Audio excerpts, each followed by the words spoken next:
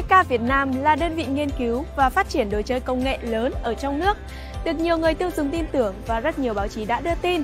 Cùng với số lượng đại lý lên đến 2.000 đại lý và đang ngày càng được phát triển, thì hôm nay tôi và các bạn sẽ cùng nhau tham quan hai đại lý phân phối lớn tại hai chi nhánh là Quảng Ninh và Hải Phòng và cùng trao đổi để xem các đại lý ở đây thì có đánh giá như thế nào về IK Việt Nam nhé. Hiện tại thì chúng tôi đang có mặt tại nội thất BK Auto 365 Quảng Ninh và hãy cùng đi vào bên trong để khám phá xem bên trong có những gì nhé.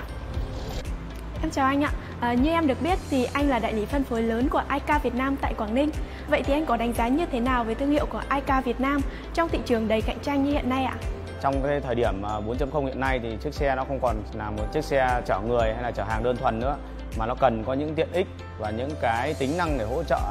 lái xe thì uh, iCar đã nghiên cứu các cái uh, sản phẩm đặc biệt chuyên dụng và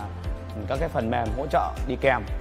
Ngoài ra thì iCar Việt Nam còn có một cái đội ngũ phát triển R&D và tôi đánh giá cao rất cao những cái ờ, việc này của iCar Việt Nam.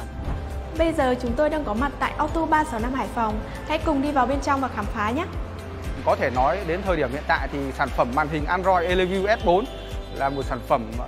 giá thành phù hợp, chất lượng được chúng tôi ờ, ờ, bán và lắp đặt lên ờ, xe của khách hàng nhiều nhất thì Eliview S4 tích hợp một hệ thống camera 360 độ toàn cảnh sắc nét, có góc nhìn rộng và xóa mọi điểm mù, hỗ trợ người lái xe rất là thuận tiện trong các cung đường hẹp hoặc là trong ngõ rất là thuận tiện. Ngoài ra Eliview S4 thì có phần mềm trợ lý ảo IKV khiển giọng nói thì người dùng chỉ việc thao tác ở trên vô lăng hoặc ấn trên màn hình ra lệnh giọng nói và màn hình sẽ thực hiện cái câu lệnh uh, cho chúng ta rất là thuận tiện giúp người lái xe tập trung hơn trong việc điều khiển xe.